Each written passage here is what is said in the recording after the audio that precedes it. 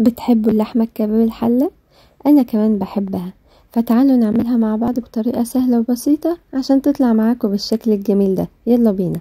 هجيب عندي بصلاية كبيرة وأقوم منضفاها كده ومقطعاها قطع وآخد القطع دي كلها أحطها في الكبة وأفرمها كده فرمة ناعمة.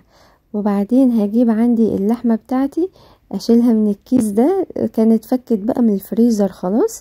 وبعدين أغسلها غسلة حلوة كده وأصفيها.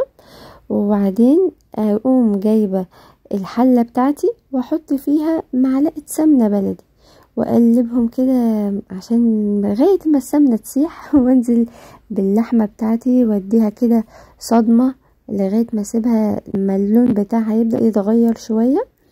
بعد كده هقوم جايبة البصل اللي أنا فرمته وأديه تقليبة كده.